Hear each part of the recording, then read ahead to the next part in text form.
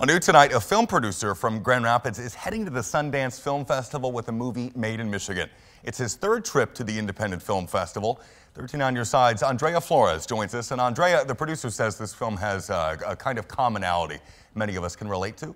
Charlie Jash'd Kambui Belcher says the film is thought-provoking and shows us a man's journey through grief, mental health, and the family he has to support him.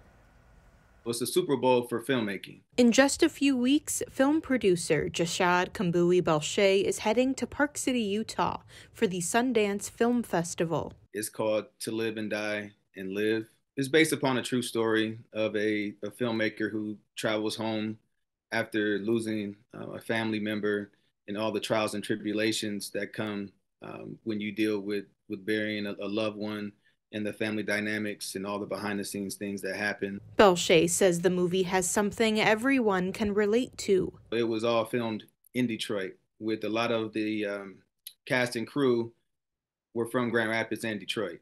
So it's a full Michigan made type of production. So it, I have great honor and, and joy in knowing that we did this here. And that's important for him as a West Michigan native himself. I grew up in a, a special time of Grand Rapids in the early 90s. I attended Ottawa Hills and in Creston. Coming from Grand Rapids and, and having that pedigree of going to Ottawa Hills, like you know how to make things happen no matter what.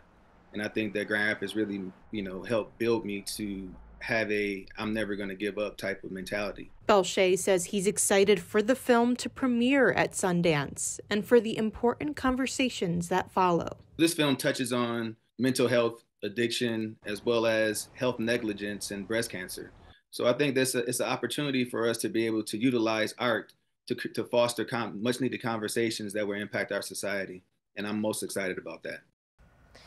So at Sundance, the film will have the opportunity for a distributor to buy the rights to it, and from there it would come out next summer or fall. It can be seen during the actual festival, though, in a few weeks, in person or virtually from January 24th through the 29th. Charlie?